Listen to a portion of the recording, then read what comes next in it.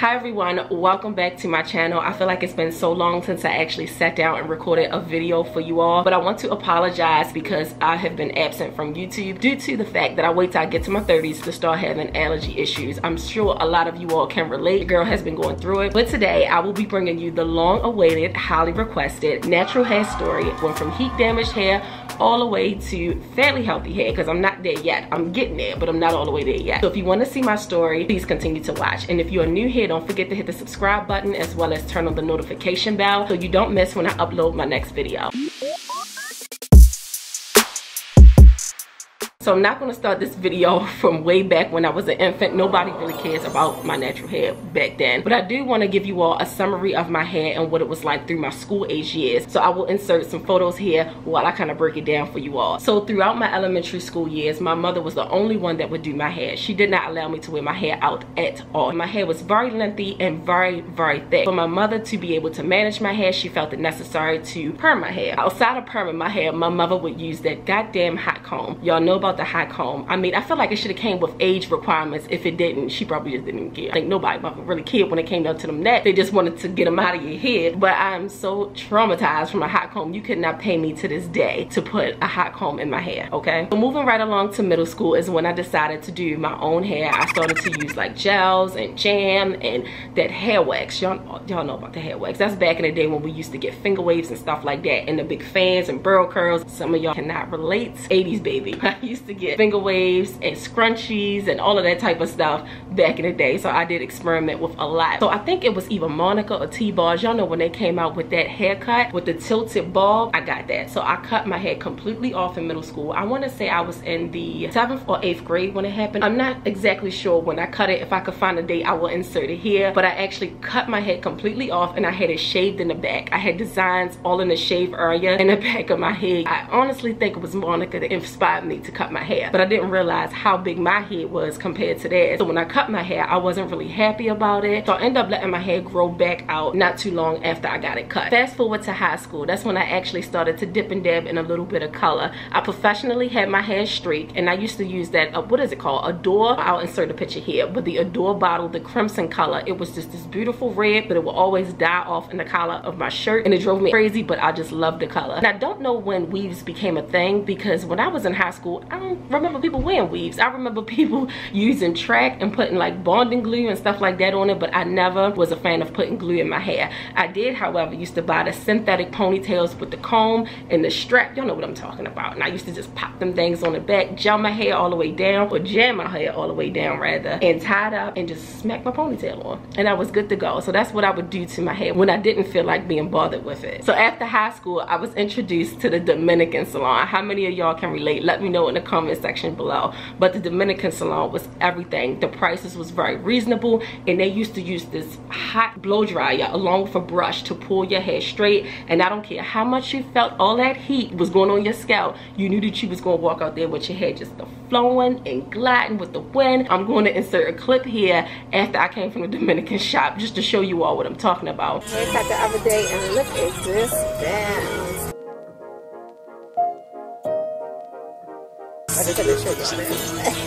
With my hair being so, so thick, when they would blow dry my hair or use the blow dry and comb it out so beautifully that my hair would just flow with the wind. So I was introduced to the Dominican salon and I lived in there. I did not play about my hair being bone straight. Y'all remember back in the day when people used to put that orange color wax in their hair? I would actually put the wax in my hair and use my flat irons like turned all the way up and hear my hair sizzle because I wanted it that straight. And then when I would finish, my hair would be like this. Everywhere I would move, my hair would move right with me. It didn't have no life to it. It was just like all wax.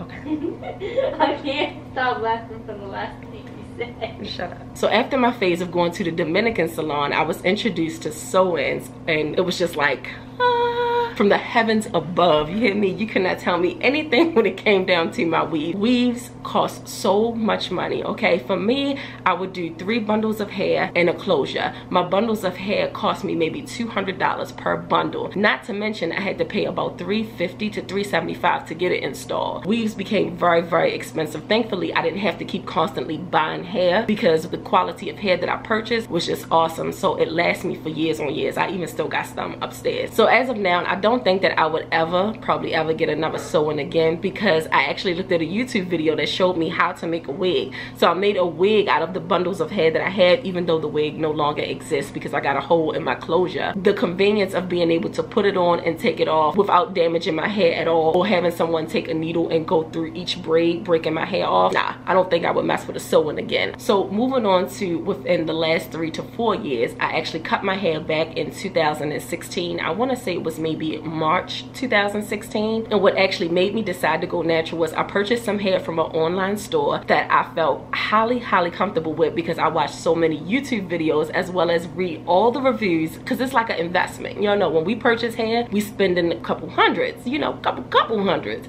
So it's definitely an investment. So I wanted to make sure that I was comfortable with purchasing this hair online. But when I got this hair, it was so beautiful. When I tell you beautiful, it was so much hair and the curl pattern to it was just absolutely amazing. So I had my beautician install this hair, but I didn't realize how big this hair is. And now y'all know I love big hair, but this hair was just like Diana Ross times five okay i'll insert some pictures here but i purchased this hair for my birthday one year and i absolutely loved it i had to go back to my beautician and have her cut this hair maybe three to four times before i felt comfortable enough to be able to manage the hair on my own that's how much hair was people would stop me and ask me about the hair and thought that the hair was mine when i didn't have the closure installed i actually wore this hair to jamaica the DR, Cancun twice, the Bahamas. I have worn this hair has been all over the islands. You hear me? This hair was just so beautiful. So long story short, I had the hair installed without the closure and I realized how good my leave out went with this hair when I would wet it. And I was like, oh, oh should let me find out my hair would curl up like that. So when I took the weave out and I put the same products in my hair that I would use in the weave, this is how my hair turned out. It's nothing like nothing like the weave okay? Nothing absolutely nothing like the weave. My hair was so damaged that it just didn't even have a curl anymore. It just had this like little funky wave to it and nah. So what did i do? I was right back up in the dominican salons okay? So not too long after that i tried to put faux locks in my head. That's when faux locks first started coming out. So watching youtube thinking i could do everything on my own i put these faux locks in. It was beautiful. However i put them in so tight that my eyes was pulled back like this and i had all kinds of bumps going around my head so i took them out. And i tried to reinstall them again and after that point i was like you know what? The hell with this. I'm cutting it off. So i'm going to insert a video here of me actually chopping my hair off off. I just removed the heat damaged ends, which was maybe three to four inches of hair all around my head. I just cut it completely off because I was so frustrated. That's what made me cut my hair. The video that I will be inserting here actually has music to it. Y'all know O.T. Genasis cut it cut it. Y'all know that song. So it has that so i'm gonna read that out but i want to insert this video here so you all can see. I recorded it on snapchat because this is when snapchat first started coming out and i recorded on snapchat for my friends to see so it's not really good footage. I had no clue that i was going to start a youtube channel because i probably would have recorded it more better than what it is. However i do have some footage so here you go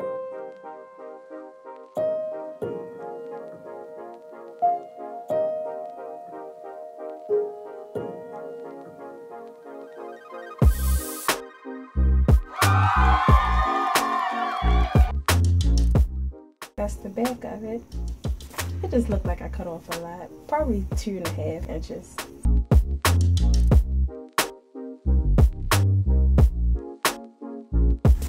So what I did was spray the area with water. Then I went through with a little bit of conditioner and whatever didn't curl up, I cut it off. And that's just how I cut my hair at that point. I just didn't care. I just wanted all the heat damaged areas to be removed from my head. The last time that I put a perm in my hair, I was actually pregnant with my daughter. Although they don't recommend you to put perms in your hair when you're pregnant, but that's what I had to do at the time. Or at least I felt like it was necessary because my hair was just so nappy. So as of today, my hair has been natural for over 13 years. And when I say natural, I mean no perm. When I first cut my hair, I was very, very strict. I wouldn't even blow dry my hair. I didn't even want to go close to the oven when the oven was on. I would wrap my hair up. That's how dramatic I was about heat damage. I didn't want to put my hair back through that stress again, so I stayed away from heat completely.